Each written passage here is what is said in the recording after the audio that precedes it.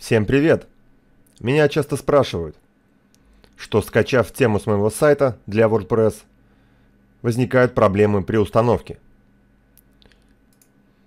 Вы стали моим подписчиком, подписались, получили письмо вот такого рода, скачали тему к себе на компьютер, зашли к себе в админку WordPress, попытались установить тему, а у вас выскочила вот такого рода ошибка – в этом видео я расскажу подробно, как правильно установить данную тему без каких-либо проблем. Меня зовут Федор Васильев и поехали!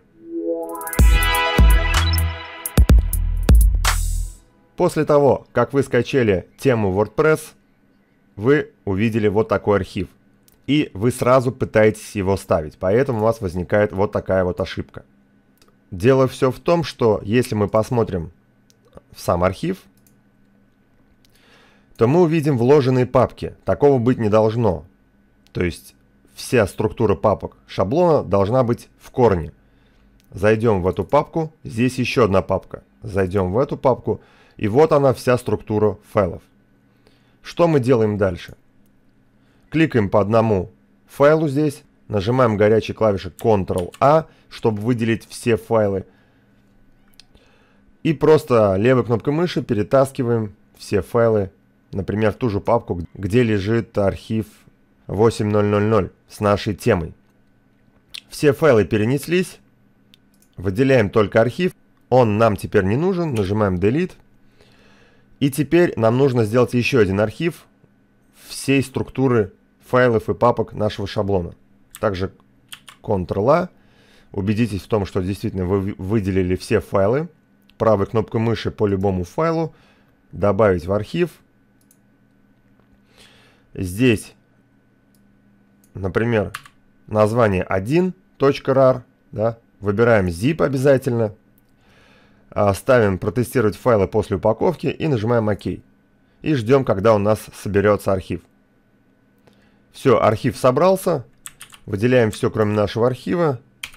Все удаляем. То есть у нас шаблон сейчас запакован правильно. Мы можем это посмотреть. Вы видите, Вся структура файлов и папок шаблона находится в корне архива. Теперь данный архив мы можем спокойно устанавливать, наш шаблон, он прекрасненько встанет к нам на WordPress. Давайте в этом убедимся.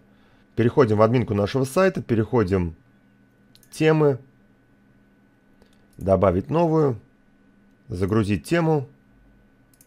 И я просто перетащу файлик вот в эту область. И нажимаю установить. Как вы видите, система WordPress нам сообщает извлечение файлов, установка темы. Тема успешно установлена. Давайте посмотрим. Открывается тема, мы ее с вами видим.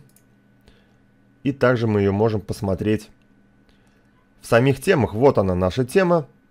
Если вдруг она нам не нужна, и нам нужно ее удалить, да, то мы кликаем «Информация о теме» и нажимаем вот здесь в углу «Удалить». Окей. И тема удаляется. Надеюсь, для вас эта инструкция была полезна. На этом я с вами прощаюсь и до новых видео, друзья.